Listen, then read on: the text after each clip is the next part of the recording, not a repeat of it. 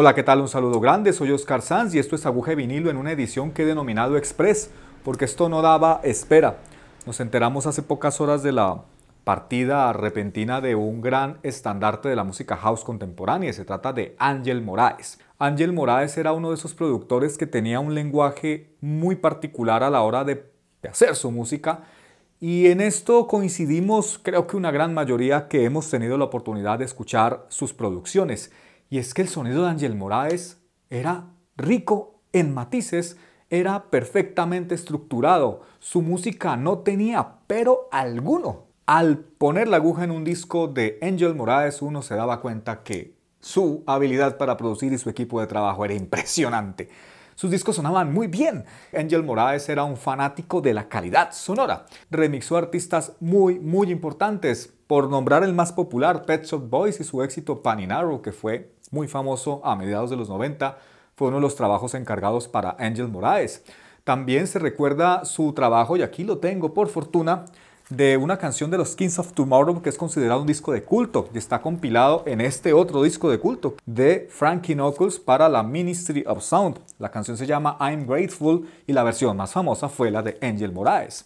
Eh, de otra parte, Angel Moraes eh, hasta protagonizó algunos mitos urbanos del circuito musical. Recuerdo haber escuchado alguna vez que decían que cuando Danny Tenaglia, este mega DJ y productor también, eh, escuchó la canción de Angel Moraes llamada Harry and Big. Esta canción dice que Danny Tenaglia cuando la descubrió era tal su amor por ella que en el Club Twilo, cuando tenía a cargo una de sus residencias, eh, creo que los sábados allá en Nueva York, Danny Tenaglia no tuvo problemas en tocarla durante media hora o una hora, y no sé si era media o una hora que él la puso y la puso y la puso incesantemente. Si he cometido el error, por favor me lo corrigen abajo en los comentarios.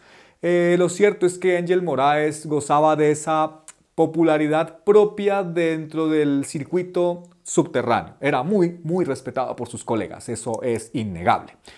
Colombia tiene una gran cantidad de seguidores fieles a sus trabajos y a su música y a su talento. Leonardo Escobar es un fiel seguidor de Angel Moraes, Alex Ocampo, William Umaña, Charlie en Pereira, Jessica Bueno, que es una gran mujer que incluso tuvo el placer de trabajar con Ángel Moraes hace algunos años atrás en la parte de relaciones públicas y artísticas, así que ya sí que sabe de primera mano cómo era el talento de este artista, porque ella estuvo ahí junto a él.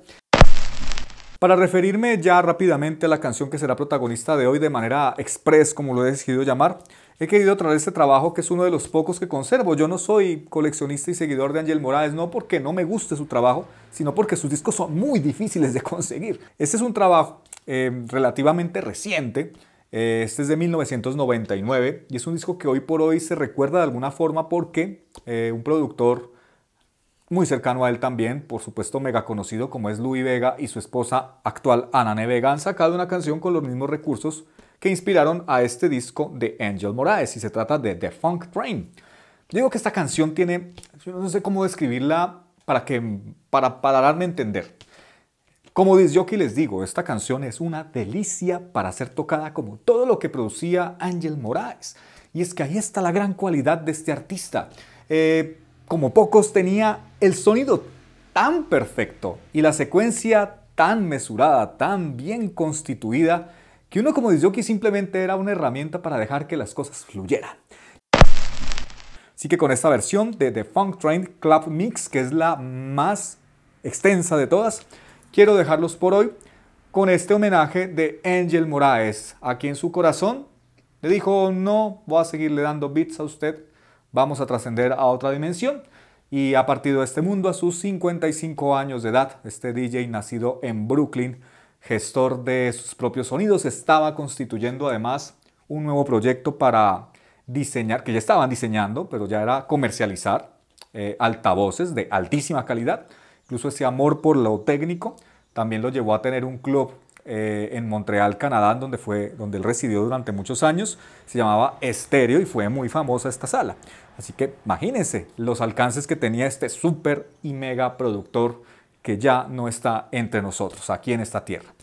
Así que con esta canción de Angel Moraes de Funk Train Club Mix, quiero dejar que ustedes se deleiten con este sonido de un súper productor que ya no está más entre nosotros.